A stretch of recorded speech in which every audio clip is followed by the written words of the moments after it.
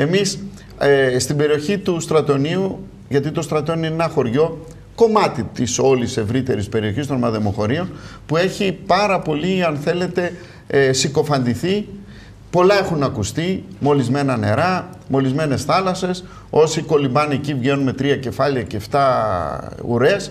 Εμένα βλέπετε δεν έχω πρόβλημα προς το παρόν. Ζω εκεί 26 χρόνια. Έχω και βάρκα, πάω για ψάρεμα. Ξέρω τι είναι το στρατόνι, ξέρω τι έχει γαλάζια θάλασσα και κάποια στιγμή αυτό που μας βγαίνει σαν αγανάκτηση, γιατί επιτρέψτε μου να μιλήσω και σαν κάτοικος και δημότης του Δήμου Αριστοτέλη, είναι ότι έρχομαι στην Αθήνα ή έρχομαι σε άλλα μέρη της Ελλάδος και όταν αναφέρομαι στην έννοια μεταλλεία Κασάνδρας, χαλκιδικής κουριές, το πρώτο που ακούω είναι «Α, εκεί που ρημάζεται το περιβάλλον».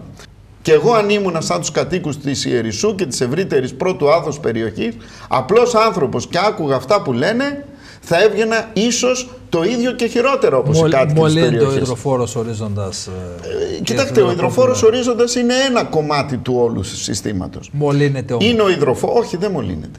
Μα αν Εξηγήστε στον κόσμο. Ακούστε, εξηγήστε στον κόσμο. Ένα όχι. Εγώ δεν λέει τίποτα. Δεν λέει τίποτα. Δηλαδή λένε εκεί οι, οι, οι αντίπαλοι της επένδυσης ότι εμείς καταστρεφόμαστε. Μολύνει το περιβάλλον, μολύνεται ο υδροφόρος ορίζοντας με όλες αυτές τις ουσίες που βγαίνουν για την επεξεργασία που γίνεται για το χρυσό. Απάντηστε λοιπόν ε, Πρώτα στον κόσμο, να... μολύνεται. Να βάλουμε κάτω πέντε πράγματα. Εμείς λεγόμαστε ελληνικός χρυσός άδικα θα έλεγα θα έπρεπε να λεγόμασταν ελληνικός, χαλκός, ελληνικός μόλιβδο, ψευδάργυρος, πάντως όχι χρυσός.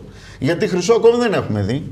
Και δεν θα δούμε ούτε για τα επόμενα 6-7 χρόνια. Τόσο είναι το διάγραμμα μέχρι να κάνουμε μεταλλουργία χρυσού. Άρα δεν μιλάμε για εξόριξη χρυσού τώρα.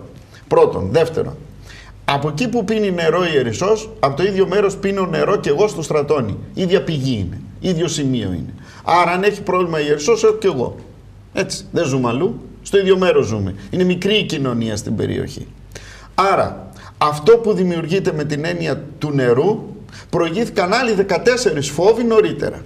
Κάποιοι μίλησαν για κιάνιο, κάποιοι μίλησαν για αρσενικό, κάποιοι μίλησαν για σκόνη, κάποιοι μίλησαν για σεισμούς που θα βουλιάξουν τα πάντα, κάποιοι μίλησαν για τοξικά προϊόντα, τοξικά απόβλητα.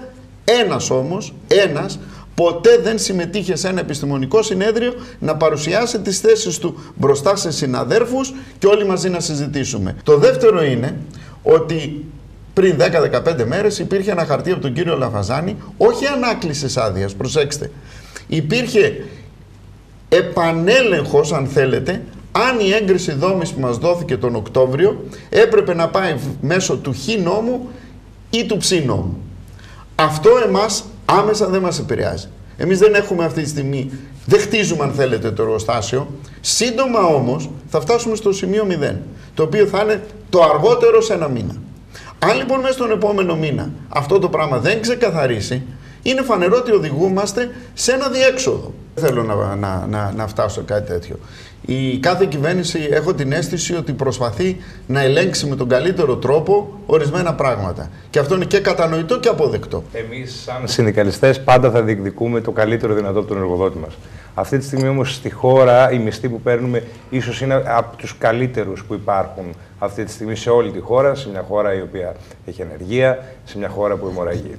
Εμείς έχουμε ό,τι ορίζει ο νόμος, συν τους μισθούς, συν την πλήρη ασφαλιστική κάλυψη, όλα τα χρήματα που πρέπει να πάνε στα ταμεία, τα ασφαλιστικά, είτε στην εφορία από τις κρατήσεις τη δικές μας και του εργοδότη μας.